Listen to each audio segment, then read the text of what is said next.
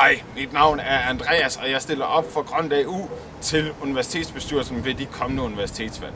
Og det gør jeg, fordi jeg rigtig gerne vil skabe det bæredygtige Aarhus Universitet. Ikke bare et miljø- og klimamæssigt bæredygtigt universitet, men også et økonomisk bæredygtigt universitet.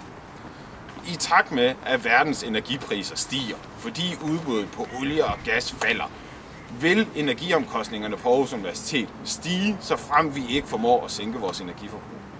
Og det vil i sidste ende gå ud over den uddannelse og forskning, der foregår på Aarhus Universitet. Det er derfor ikke alene til gavn for verdens klima, at vi sænker vores energiforbrug. Det er også til gavn for den kvalitet af uddannelse og forskning, som vi har på universitetet.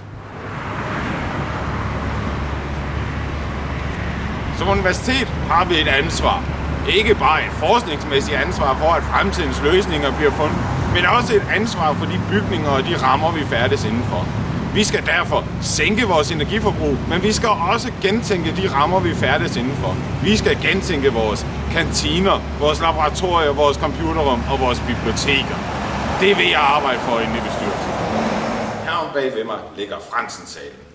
Den er interessant i forhold til, hvad der skete der mandag den 18. januar 2009. Her drøftede man på et ledelsesmøde teknisk forvaltningsforslag til en ny energi- og miljøpolitik. Det var en politik, som satte store visioner på papiret og gjorde dem realiserbare. Det var en politik, som Grøn EU havde været med til at formulere, og som ville have sikret store reduktioner af universitetets energiforbrug. Politikken den blev nedstemt. Den blev nedstemt, fordi to dekaner syntes, der ikke var nok uafhængighed til deres fakultet i den. Men hele pointen med planen var, at det skulle være centralt styret for at få den størst mulige reduktion per krone. Som bestyrelsesmedlem vil jeg arbejde for et bæredygtigt Aarhus Universitet. Et universitet, som sænker sit energiforbrug med 35 procent, som gennemfører en omfattende renovationsordning for papir og anden genanvendelig materiale, som har klimavenlige måltider i hver eneste kantine, som har digitale biblioteker og banebrydende forskning inden for klimaløsninger.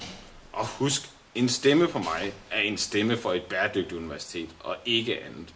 Grøn U står uden for alle valg- og listeforbund, så en stemme på Grøn U er altså kun en stemme på Grøn U. Tak for jeres tid.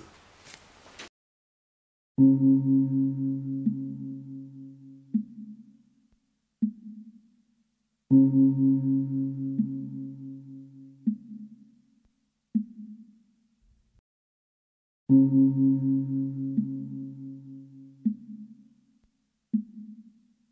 Mm-hmm.